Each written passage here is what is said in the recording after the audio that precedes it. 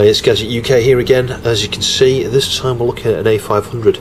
Now, it's just a bare motherboard, and there are no chips uh, socketed. Uh, you know, all the sockets are empty here. Um, it's one of the later revisions of this because it's got the extra uh, slots here uh, for the uh, 1 meg, so you can add four more chips there and take it up to 1 meg. So I'm not sure what uh, version of Agnus it would have had actually. I need to check that. It's a Rev 6A actually.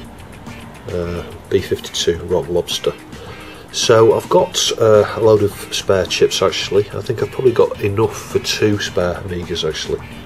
We've got no battery or anything on here, but there are a few uh, dark coloured pins, so one or two of the sockets may need replacing. Uh, it looks like the uh, Agnus socket is okay there. Someone actually used the correct tool to remove the Agnus. Uh, that's surprising. Uh, there is some corrosion here, can you see? A little bit greenish that's indicative that uh, the memory uh, expansion that's in here had a battery and it leaks and it must have just affected that. But I doubt that's the problem. I suspect we're going to be looking at probably the data path uh, or the RAM. The nice thing with this is I've only got uh, four chips for the RAM so it's uh, a lot easier to work with than some of the older A500s because they've got like 16 chips on there and it's an absolute nightmare dealing with those. So yeah in the first instance I'm just going to populate the sockets here so we'll get Gary in first. You can see we've got uh, some green looking pins there. So, uh, socket uh, connectors, I should say. So we'll stick CIA in next, do the odd one. And another 8520 over here, another CIA, the even one this time. Let's move that cap a little bit.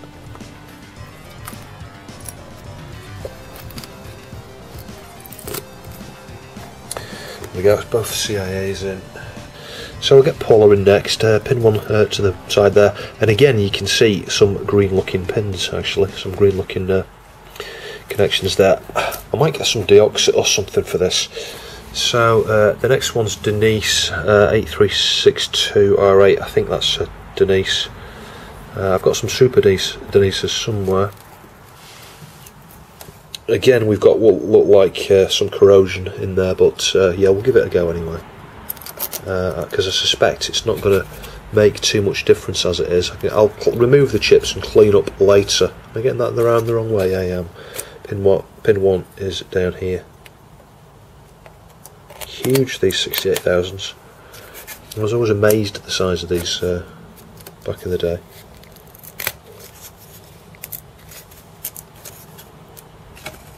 And then I've got a kickstart 1.2 here so we'll just push that in. So the final thing here to populate this now is uh, an Agnus so I just need to work out what revision would have uh, sat on this board. Is it an 8371 or an 8372 or what? I'm guessing an 8372 so I had one of those camcorder moments there where I forgot to uh, press record.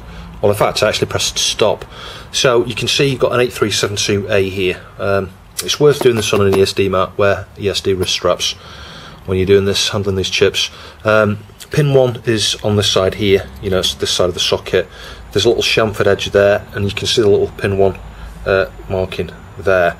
So it needs to go this way into the socket. So the technique here is to get it perfectly lined up like that inspect the pins before you put it in because sometimes they can get slightly bent to the sides you know in transit and things like that when they've been stored in incorrect containers and things you know knocking around banging against the chips and things like that. So make sure all the pins are all straight. Get it nice and straight like that and just push it in carefully like that. That's it. It's in. Um, now the nice thing with this socket you can push this out from the other side. I'll show you that in a second. But you're supposed to use a PLCC extractor. It's a special tool. I've got one. I've not got it to hand. I might show in one of the upcoming videos. Um, yeah, you just push it into the little slots there and you squeeze it and it grabs the underneath and you pull it out. Crazy people use a screwdriver to try and lever it out from the corners here. You will smash the edges of the socket that happens uh, very, uh, you know, very frequently on these old sockets because the plastic hasn't aged well. But you can see what I mean about the two holes underneath. You know, if you've not got a PLCC extractor, you could, and I don't like doing this, we'll do it anyway. Uh, you could use uh, something with a, a, flat edge if you can, and just push down a little bit, not hard, and a little bit there, not hard. There we go. Tip it up, and you can see the chip has come out. So yeah, that's one way of getting them back out if you've not got a PLCC extractor. But again, it's not the recommended way of doing it. Get yourself a PLCC extractor. Uh, so we'll just inspect the uh, pins again there just to make sure those are all okay. Yeah, there's a bit of dirt or something there on that one. I'll just try and clean that with the fiberglass pen actually because if we have a bad connection there it's going to cause all sorts of problems. Yeah, it was a bit of corrosion I think actually that. Yeah, that's looking a bit better. So again, we'll just fit that a second time. Let's make sure it's perfectly aligned. And it is, and just push it down like that. That's it. All done. So I did just have to tinker with that jumper there. But uh, yeah, I'm surprised. Just watch this. Right, you ready? You know what mine looks like. So yeah, memory test, grey, then white. Oh, hang on, software failure. That's positive. Actually, we have got problem. I was going to say it is working. Uh, now this could be uh, those bad connections. It could well be uh, RAM. I don't know. It's strange I would get that so soon into the boot there. Could have a dodgy Agnus.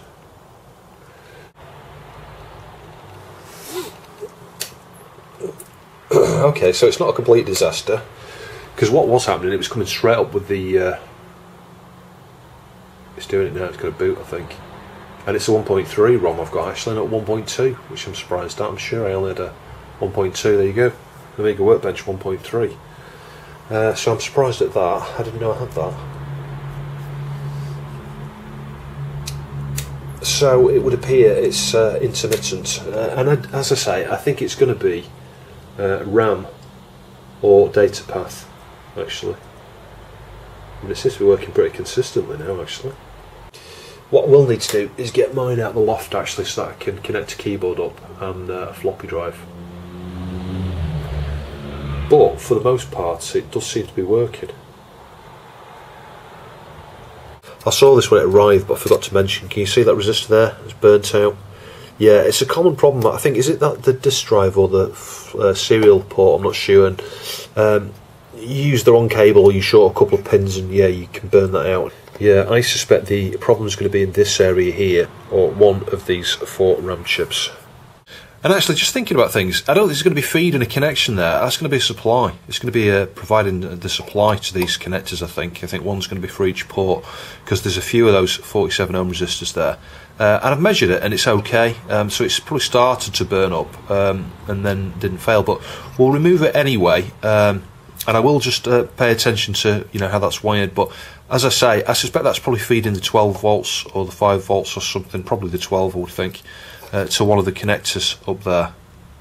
And there you go, I've removed it. So the easy way to do that was uh, just to heat from the underside uh, and then just get a small tool underneath and just lift one side up at a time, you know, as, it, as the, solder melts on the pin. Uh, because the, it was absorbing quite a bit of heat that actually, uh, but as you can see, it is uh, burnt out. Even though it measures okay, yeah, you wouldn't want to leave that in there. So the next thing I'm going to do is I'm working around the board here is just having an inspection, uh, move any components that are close to each other and shorting. Like there were a couple, I'll show you. There's a couple of caps there. They were almost shorting. I just separate them. Uh, you know, just gently move them away from each other, move them to the sides. But you can see down here we've got some just a little bit of corrosion on a couple of wires. I'm going to clean those up either by just very carefully scratching the surface like this with a very fine tool, uh, just gently. You don't want to, you know, break the connections to or from them. Um, and they'll get some flux on them. We'll get some solder and just reflow them, or use a fiberglass pen. But the problem with a fiberglass pen is it affects the wider area. You know, these are so small. I can just focus on the tops of those little wires with this tool here like that, and uh, get them back to a metal surface uh, and just remove any of the corrosion there on the trace. And like I say, get some flux solder, solder braid with a bit of uh, solder on it, and just you know drag the solder braid uh, as you heat it over there, and it'll just tin the tops of those. But there aren't very many. There's just a few round there. Uh, I thought I saw one somewhere else as well, but it's looking okay. Yeah, so a super close example here of what I mean. Uh, I'm using magnifying glass to do this, but we could just scratch around that via there uh, and scratch some of this here because there's just a little bit, can you see, uh, of corrosion just on there. I probably will go over this lightly with the fiberglass pen afterwards.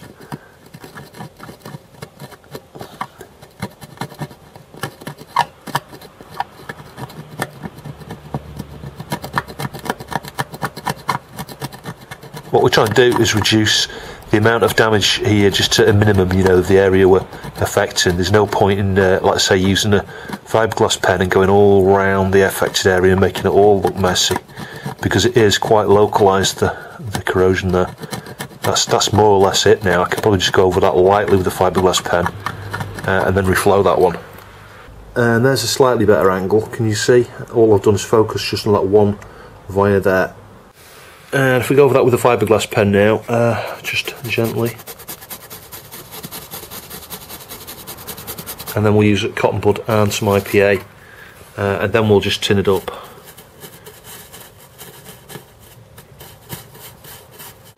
Yeah, that's not too bad, can you see? Just needs a little bit more cleaning up, but we're almost there. There you go, so you can just about see that at a distance. You can see the little rings there where the fiberglass pen has been used to uh, get rid of the rust and if I just clean that up yeah look how dirty that is it's really bad. I mean bear in mind there's going to be lots of little rust particles there so those need mopping up now. Uh, I will go over that with the uh, uh, toothbrush and stuff and some more IPA afterwards. But you can see we're back to bare metal there now uh, and it's nice and tidy they've got no rust around uh, those connections at all. I mean there's only that one trace the one I focused on initially there that's uh, you know this one here that would be an issue or these little ones. Uh, but the corrosion there was super light actually on those other vias it's just this one here. Um, those are obviously just like ground stitching you know straight through the ground plane there to the other side. They're not really that important. So I've not got my normal soldering iron plugged in at the moment so I'm just going to use the uh, desolder tool here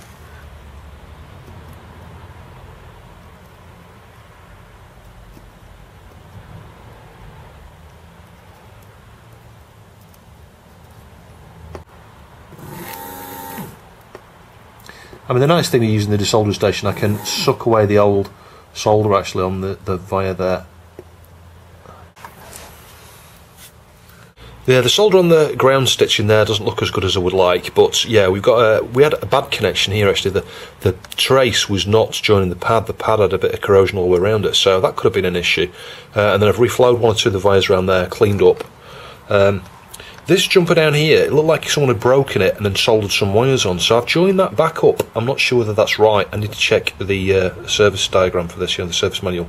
And it's the same thing down here. They've broken the connection. There was a few bits of wires stuck on, so I've cleaned that all off and uh, you know shorted the bottom two contacts, which uh, I think is correct. Bear in mind I'm using the monochrome composite output at the moment. Takes a few seconds to uh, boot there. Yeah. So it's, it's reliable.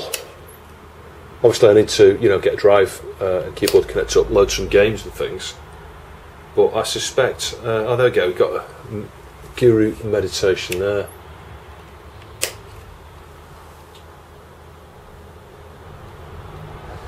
Yeah, and again, uh, now bear in mind, like I say, I'm, I'm not sure on the absolute status of the chips that I'm using here because they did all come from uh, you know spares um, sold tested working, but you never know.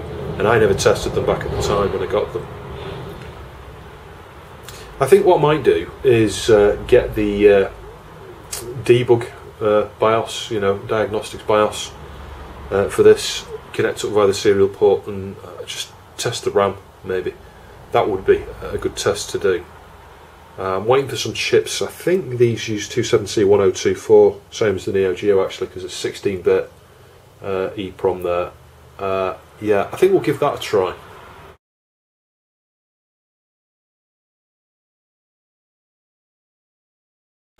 So whilst I'm waiting for that uh, EEPROM to arrive, uh, I'll have a go at uh, cleaning up that expansion connector actually.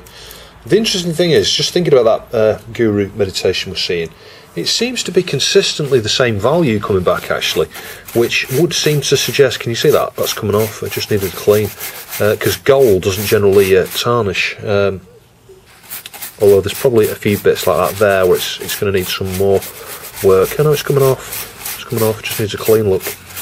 Uh, yeah, I'm amazed actually how well it's coming up. Um, yeah, so the fact we're getting a consistent value coming back there with the Guru meditation uh, does make me think there is some sort of hardware you know, there is a hard fault somewhere that at the moment uh, we're not, uh, you know, understanding. Uh, it could just be RAM. I have seen these with RAM causes that. You don't get the green screen like you would expect to see from the BIOS RAM check.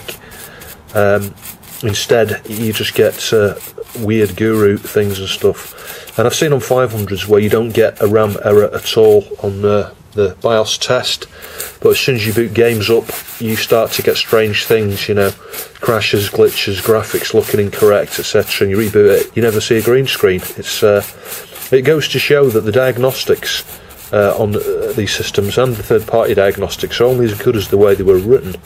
Uh, you know, they, they, never test every single uh, thing that you would think of um, in relationship to RAM, for example. Um, and things obviously change as the system starts to become utilised in different ways, and you know all sorts of things become factors.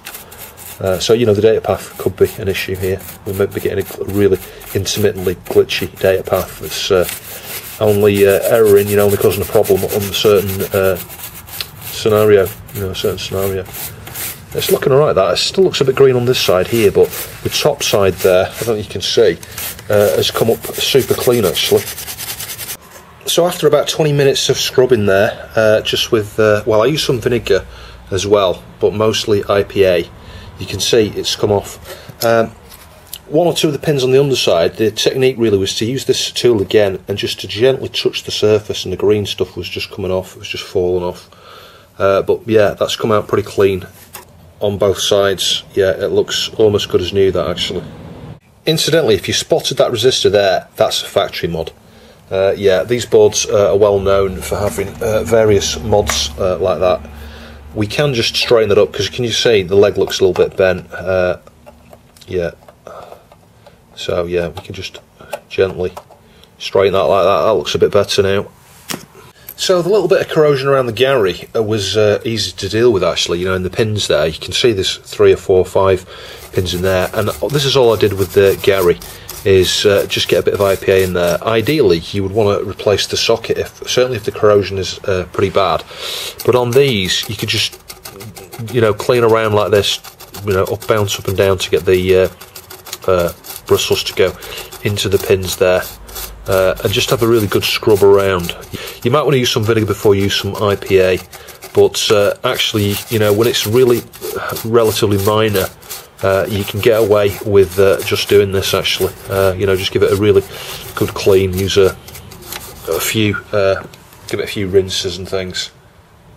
I don't think this socket's the problem with this. Uh, this one I might swap. Paula is one that I might swap because just having cleaned this up now, I can still see there's a few dark uh, looking pins there actually. Um, and the other thing we'll need to do is clean up this uh, Paula. Can you see this is the Paula I've been using it. It's one of, one of my spares collection. Can you see? It's just a little bit. Uh, it's got some oxidation or corrosion or something up there. So you can just uh, you know just gently with a fiberglass pen, uh, just go over the corners and the edges there, and uh, it should just remove that oxidation. So the next thing to clean up here is the uh, expansion connector. The interesting thing is it looks like it's been used. That it's got little marks on it as if to say something's been uh, mated with that at some point. But we'll just use a soft eraser here, uh, and you can see, you know, it gets those little marks off, and then we'll go over it with some IPA. Uh, perhaps use the eraser a second time, and then use the IPA a second time as well. But the idea is here, what you don't want to do is uh, lose the gold plating.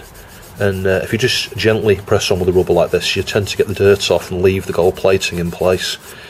If you to use a fiberglass pen, as I demonstrated in that uh, King of Fighters uh, Saturn cards uh, video, that was a, a test because I had a number of people saying you should use a fiberglass pen. It's far easier than using a razor.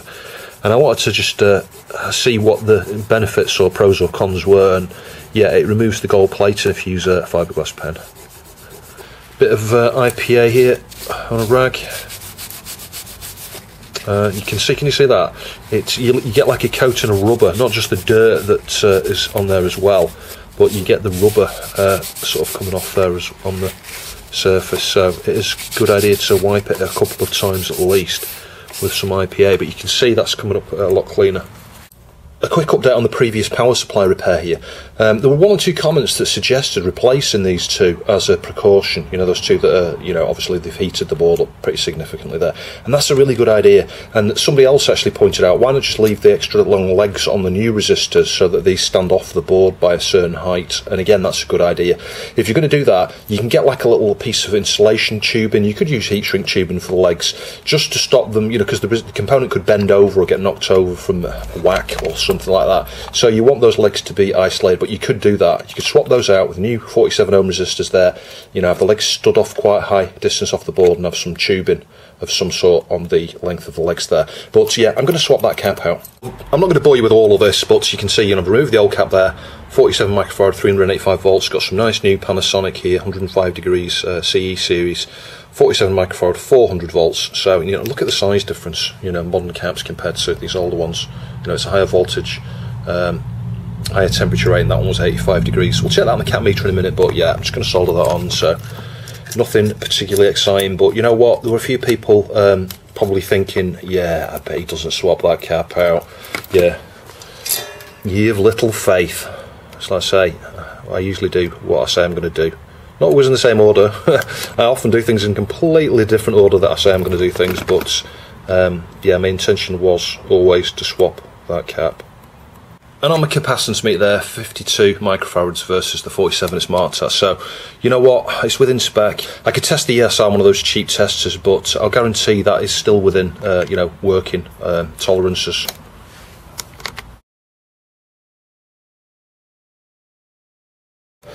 So at the moment I don't have a keyboard to test this with, uh, but I know, let's use the Atari ST keyboard. And you straight away you're thinking, what? This guy's absolutely crazy, you can't use an Atari ST keyboard uh, with an Amiga.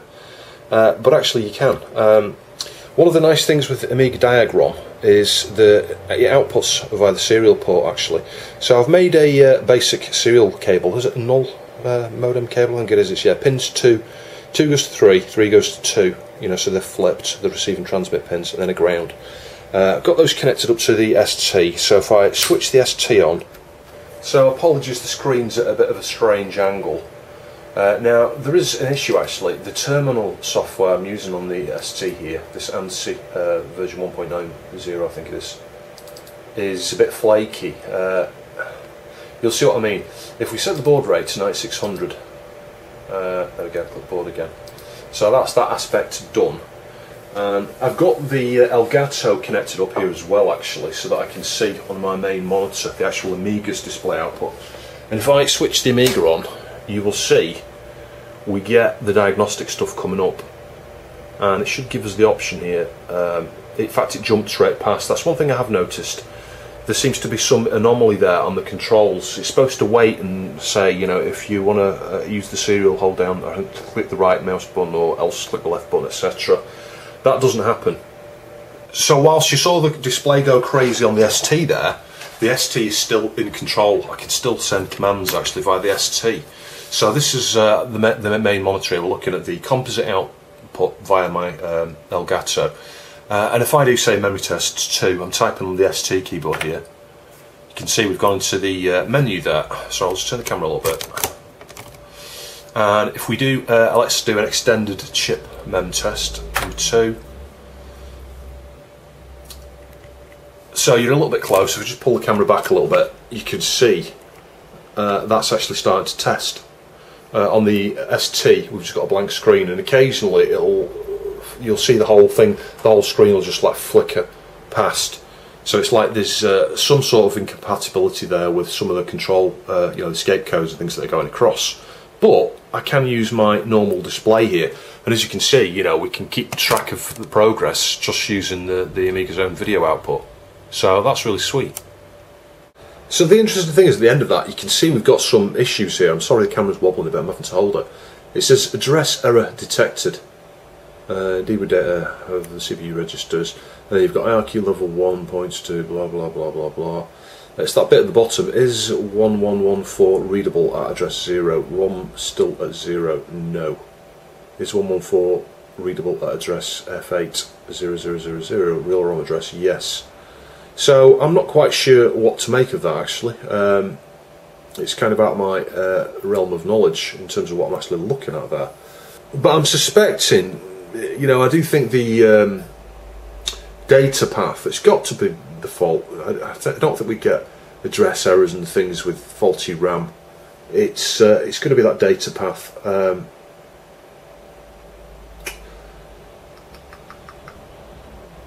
you know, there is a chance that one of the other chips in this board is faulty, i.e. the Agnus, um, but I don't think so. So if I press 1, you can see it's uh, doing the memory test there now, so if we just let that go through, you should be able to see uh, sort of up there, uh, zero uh, errors I think it says, errors zero.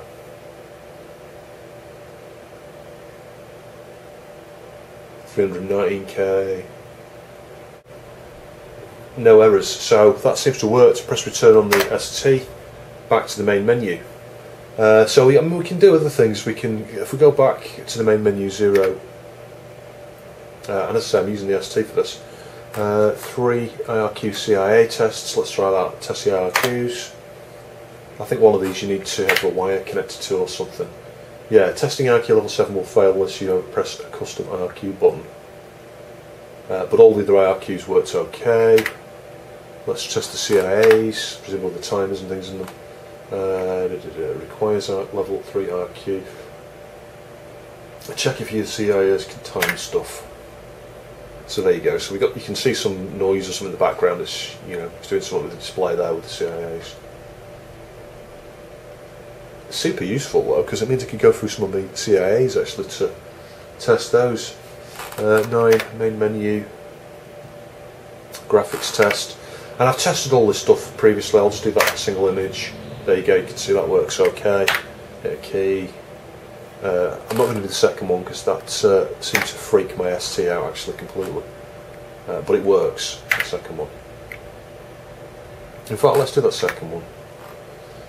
There you go. Yeah, it's alright, it works okay this time, the ST's uh, handled it. 9, back to the main menu. Uh, so I mean I could connect the audio up, I've not got speakers here but I've tested that, that works okay. So it would appear that as far as uh, Diagrom uh, is concerned, everything works fine. So it, it, leaves me with a bit of a mystery as to what's actually going on. So there are a few other things I want to mention while we're on this part of the repair series here. The jumper 2 there, I had to uh, you know, resolder that. Can you see where that is at the moment? It's in the lower position. That was set incorrectly. Um, it was, in fact, it was just completely open circuit. I presume at some point someone perhaps had a, a wire on there because there is a mod you can do. I forget what it is, but you can yeah you can use that jumper to switch. I think it's uh, related to the uh, control of this ROM here actually. But there's another one down here, and that was set incorrectly as well, 7A. So yeah, I'm not really sure what had gone on there, but that, those were the things I had to do as well as you know the fix to the slightly damaged traces up there. One of them was definitely a break. You know, the smaller one was definitely a break, and adding a bit of solder onto the via, I managed to just. Uh, I managed to just trail it across, you know, um, and it's the same with this one here. So yeah, I'm not sure what, what, what was actually causing the initial faults with this. Although, as you will see in a you know future video, we need to do more thorough testing. I need, I need to connect keyboard up, floppy drive, boot some games, run some software. I need to work out why I'm getting that address uh, failure when using Diagrom here. I'm suspecting it's going to be something to do with the data path here but you know I'm not ruling out we could have an issue with one of these chips. So the other interesting thing with this particular board, it's a Rev 6A. It's got the uh, extra spaces here for another 512k. You know, so it says there 512k, one meg. Uh, I think the 8372A is the one that will allow up to one meg of chip RAM. Um, and the thing that dictates that is obviously is the Agnus here, the 8372A. Agnus uh, does some clock generation as well, actually. See the main crystal here, the 26, whatever it is, megahertz, is it? 28 point something, 28.375. Um, yeah, your main uh, clock goes into Agnus, and I think Agnus divides that out and perhaps provides uh, a clock to the CPU and various other things. But Agnus is also the memory controller. Um, in terms of memory control, it's more of like a DMA controller, really, rather than anything. This memory down here is chip RAM, so this can be addressed by not just the CPU, but by Paula, probably Gary, and Denise. So yeah, it's kind of a DMA controller. You know, memory transfers can take place um, in parallel to the CPU doing various things. I mean, obviously you're limited with the RAM you've got on here. You're limited as to when that can occur. And, you know, this is one of the benefits of adding, adding fast RAM. You know, if you had a fast RAM module here, 512k fast RAM, that frees up the CPU to maybe run code from that fast RAM, and independently of that, you know, Agnus can uh, allocate uh, the chip RAM access on certain cycles to some of the other chips here. So that's one of the reasons why it was advantageous to add fast RAM to these systems to, you know, um, kind of give the CPU its own dedicated RAM that would not be interfered with, uh, while uh, you know Agnus and you know various other chips and things uh, utilise the uh, the chip RAM. But as I've mentioned on previous Amiga videos I've done, um, um Agnus contains uh, a blitter, you know, a block transfer, bit block transfer. So, you know, she, shall we refer to her agenda? Yeah, she can uh, move, uh, you know, large chunks of data from one place to another. I mean, this, it, it, that sort of stuff goes on hold when the CPU needs access to, I don't know, chip RAM, for example. But then when the CPU is not accessing the chip RAM, the blitter operation can continue, kind of thing. And, uh, you know, it can copy large blocks of data, you know, graphical data. Um, just like you got on the Blitter on the Atari ST, you know, it's useful for the uh, OS UI stuff and things like that. But you've also got copper built into uh, Agnus there. And the most common thing you've seen with copper in many Amiga games is you get like uh, coloured patterns, you know, coloured bands and things of certain patterns, stripes down the screen. That's all typically done by the copper. But the copper is actually more than I realised. I only realised this recently. It's um, kind of like a coprocessor, and that's where the copper comes from. You know, the, the, the nickname copper, uh, sort of short for copro. Um, but it's a finite state machine, so it's uh, it's got a limited number of instructions it's capable of understanding. I think, but it can basically make calls to various things to do various things. Denise is a graphics chip, and you've got eight hardware sprites, as far as I understand. So using Agnus, using the co-processor there, the copper, what you can do is you can draw a sprite and then mid scan line you can actually redraw that sprite in a different position by use of that um, coprocessor that's sat in there. You know that's how fast it is. It can do it within the middle of a scan line. You know, a part part of a scan line, so you can you know effectively get more sprites displayed than you're actually capable of doing. So that's a really nice feature actually. There are quite a few different versions of Agnus. Um, I think there was um, a dip version of that. Was it on the Amiga 1000? Was that the original version? I think it was. Yeah. Um, and again, you know, each one of them has got more or less capability in terms of how much chip RAM they can uh, address. So as I said, as I said earlier, this one's the one meg one. There's uh, a two meg one as well. You can't just stick any Agnus in any socket. There are some exceptions, like I think, for example, on some of these boards where you've got the half meg one, you can swap it for the one meg one. Uh, and y- there might be some versions out there that have got a specific revision of the one meg one where you can swap a two meg one. I think actually you probably need some sort of adapter to do that in most instances. So back over to Denise, as I say, Denise is your graphics chip. You can see there's two 74HC245s here. So those are uh, just used to buffer the uh, output to the video hybrid here. So this is just, I don't know what it's doing, it's just tidying up the uh, levels and things. I don't know what it's doing. It's affecting the RGB levels and the, the sync and stuff that come out to the video port here. Um, someone did produce, I think it was Kipper, Kipper 2K produced a nice little uh, repro of these hybrid modules that give a slightly better display, but still, it's quite good. Those don't tend to fail. I've never ever seen one fail, but I'm sure they probably do. There's probably examples out there where those, that hybrid does fail there. And a hybrid, if you're not aware, you can sort of just see that it's like a little PCB with some components assembled on it with little pins on the bottom to solder it in line onto the PCB. Not quite sure why they did that. Um, and I guess it's taking up less space on the board, isn't it? Really, it might have been an, an afterthought. They might have originally with not had that in the design and thought, well, we really need to do something with the video output. You know, can we improve it? Well, we can just about fit a strip of pins down there and accommodate this little module. So that's perhaps why we ended up with a hybrid there. Um, yeah, so Denise, uh, eight hardware sprites. I think you can have two play fields independently. I think I think one can overlay the other one. I'm not quite sure how that works. I can't even think of any games I've probably seen that in, although it probably does get used all over the place. Um, 32 colours typically. There's lots of obviously it's a bit like other you know the graphics chips and other systems. You know you go uh, you can change the resolution of lower colour depth. You can have a higher colour depth if you use the hold and modify. I think you can get 64 colours. You might be able to get more actually, and that's probably going to be relying on some of the techniques of the uh, copper as well. So you've got Paula providing the audio here, PCM audio, 8 bit, four channels, two channels go to the left, two channels go to the right. Um, so some people do a mod actually to you know uh, mix. I think it was something Miss Madeleine covered in one of her videos to mix the audio. So I don't know. You get I don't know. Say 25% of the left channel merge with the right channel and vice versa, because then it kind of it sounds a little bit better. Um, you get a very distinct separation on the left and right. You know because obviously two channels are physically on the left, two are physically on the right. You can't sort of merge them anyway in software. And I think you can get up to something like 29 kilohertz in terms of the sample rate there. So that's pretty good for the time. It was only 8 bit, but you know, still, it's it's really good your serial connections go through Paula, strangely enough. Now, I only discovered that from looking at the, the, schematics a minute ago. I want to refresh myself with what goes where, what connects to, because some of these have got numerous uh, things that they do, you know, it's not just a sound chip. So, yeah, your serial, if you look at the pin out of this, you'll see on the schematics RXD and TXD for serial come through Paula. Now, I was going to make the mistake of saying, ah, the mouse and uh, joystick ports and things go through Paula, a bit like the SID.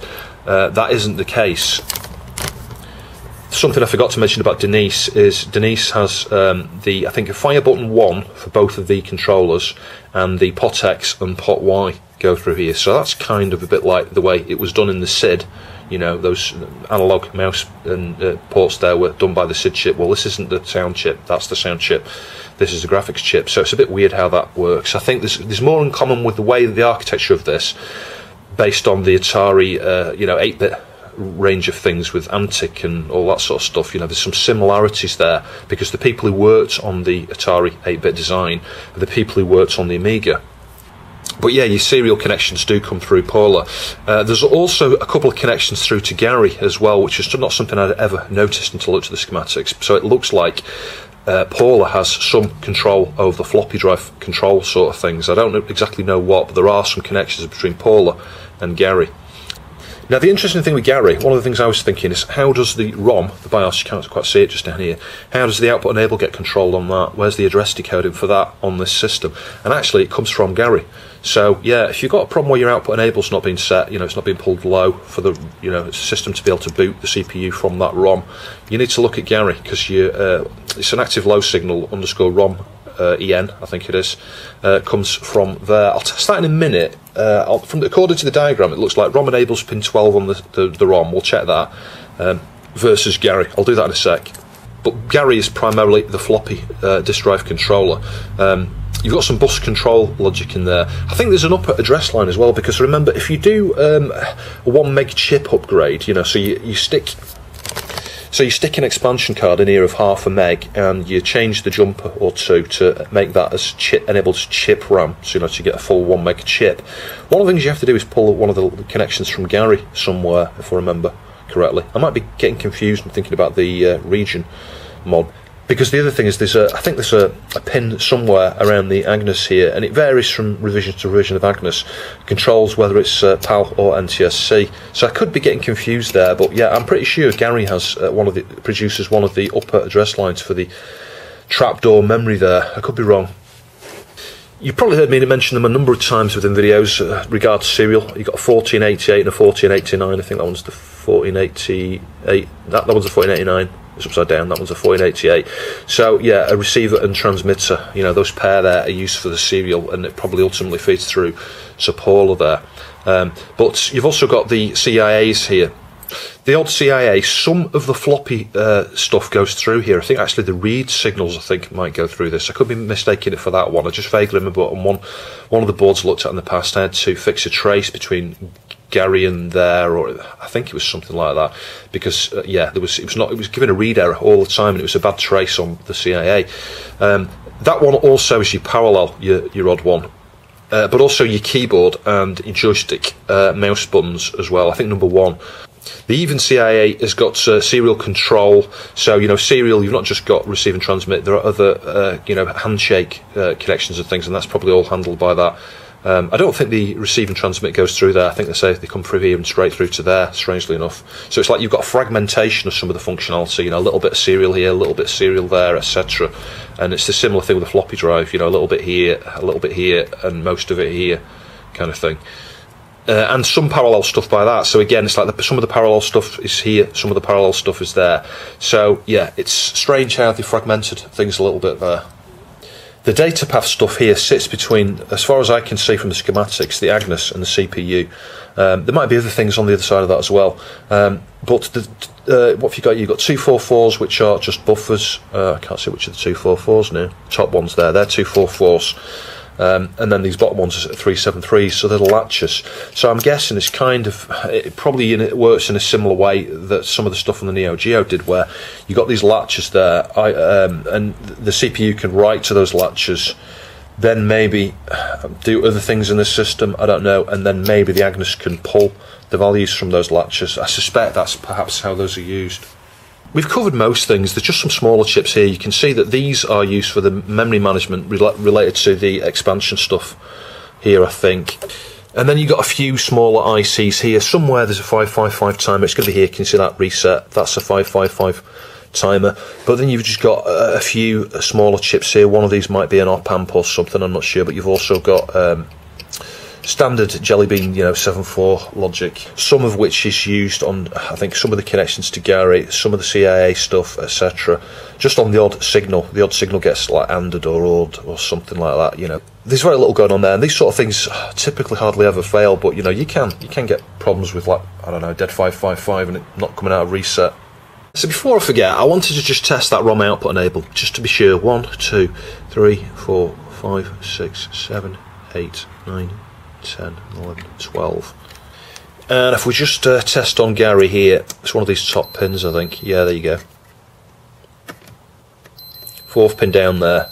Um, so yeah, the output enable comes from Gary. You've got some address decoding going on there um, for control of the ROM. So if you you know you see one of these where your output enable on your ROM is stuck high all the time, it's just not booting. You're looking at Gary. Yeah, I lost the footage uh, programming this. It's uh, a long story, but you'll see in a following video what happened.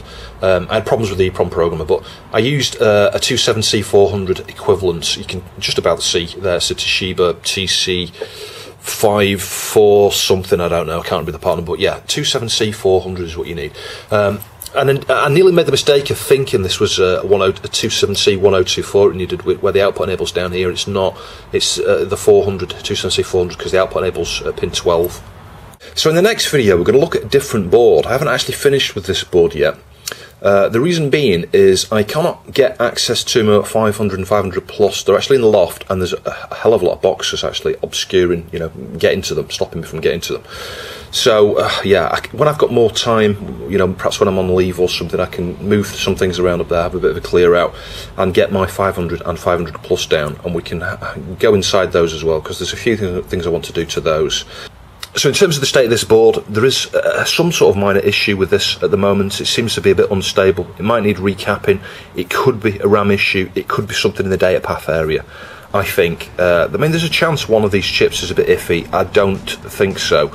So we did have some bad connections on socket and stuff. You know, there were some dirty uh, pins in some of the socket uh, connections there, um, and there were one or two traces around here that uh, ultimately I think were bad. I swapped out that resistor there. It was a bit of a more beefier one. I might revisit that because I've got some of the correct size now, perhaps in the next part. Um, but in the following video, you know, part two, it's going to be a different board, but we'll come back to this perhaps in part three.